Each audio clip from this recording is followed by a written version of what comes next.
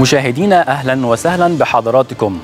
طفرة غير مسبوقة شهدتها مصر في تعزيز مكانة المرأة في جميع القطاعات خلال عهد الرئيس عبد الفتاح السيسي.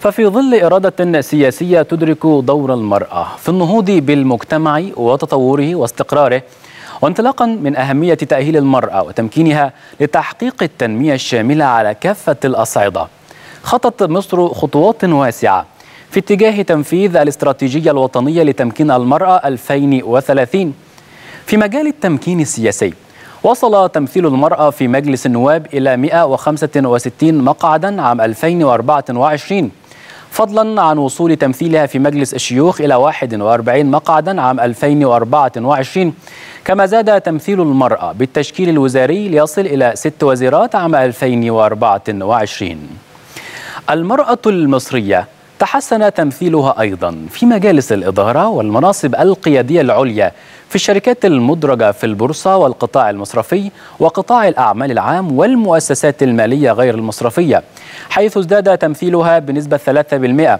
وبشأن التمكين الاقتصادي انخفض معدل البطالة بين الإناث إلى 7.1 نقطة مئوية حيث بلغ 17.7% في الربع الرابع من عام 2023 كما بلغ نصيب المرأة من إجمالي المشروعات الخاصة بجهاز تنمية المشروعات إلى 45% بتكلفة وصلت إلى 15.4 مليار جنيه. يأتي ذلك فيما بلغت نسبة السيدات من إجمالي المستفيدين من برنامج تكافل وكرامة إلى 76% بواقع 3.6 مليون سيدة فيما تحصل 6 ملايين سيدة على معاش تأميني و3 ملايين سيدة مؤمن عليها بجانب تقديم 4.9 مليار جنيه سنويا لدعم المرأة المعيلة. الدولة خصصت أيضا نحو 3.2 مليار جنيه سنويا لدعم السيدات ذوات الهمم بإجمالي 435 ألف سيدة علاوة على استخراج مليون بطاقة رقم قومي للنساء الأولى بالرعاية خلال ست سنوات.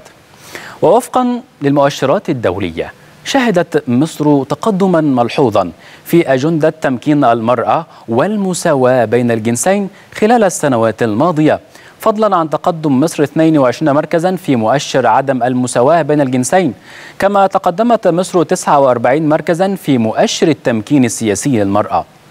وفيما يتعلق بالتعليم ارتفعت نسبة الإناث المقيدات بالتعليم العالي حيث بلغت 49.8% عام 2023-2024